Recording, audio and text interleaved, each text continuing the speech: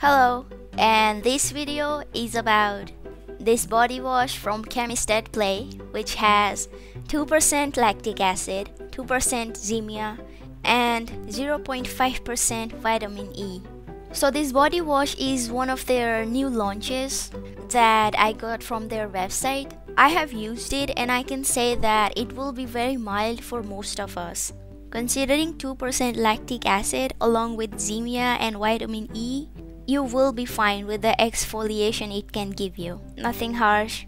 And it smells like soap and why not?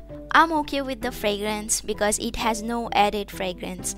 I see most of us being okay with the fragrance because it is not bad in my opinion. You will wash it off anyway, but if you wanna smell like perfume, you won't like it because it will just make you feel fresh, nothing else. I would say the smell is just neutral. And the packaging, again, it's very cute. I like it and you would like it too and for the performance you have to use it for the longer time to see younger looking skin on your body because you will be exfoliating and it is not that strong for our body in my opinion because 2% lactic acid is a mild exfoliator and for the body it becomes even milder along with 2% Zemea and vitamin E that we all know. I wanted to mention one main thing about this body wash is that it has something grainy, like something that can scrub your body in a physical way. Like, like this is what I mean. This is the thing I didn't like about this product. Doesn't mean I'm gonna stop using it, but this is another reason why I said you should not use it every day because it has something grainy in this that is physically scrubbing your body.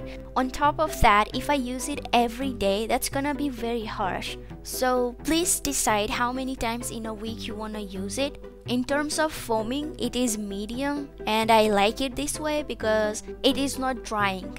So this is another point you can consider before buying this. I found something on Google about Zemea, I hope I'm pronouncing that right, in which it says that the INCI name of Zemea is propanediol.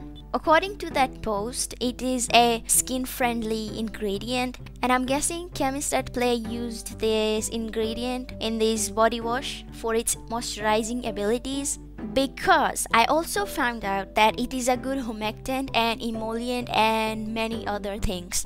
So now we know a little bit about this ingredient that I at least didn't know before. And I'm not really trying to go deeper into this. I just wanted to give you an idea about that ingredient because you would see this ingredient name on their website a lot because they have formulated so many products with this ingredient. But let's move on.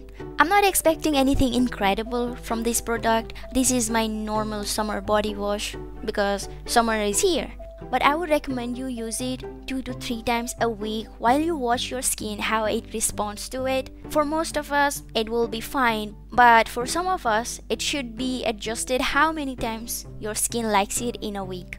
And please don't forget to moisturize your body after taking a shower with a body wash which is exfoliating because your skin needs that moisturization after you exfoliate, even a little bit. These days I'm using their 5% niacinamide body lotion that I reviewed in my previous video if you wanna watch it. But I understand that some people might not like their 5% niacinamide body lotion in summer, but I'm okay with that. And thank you so much for watching.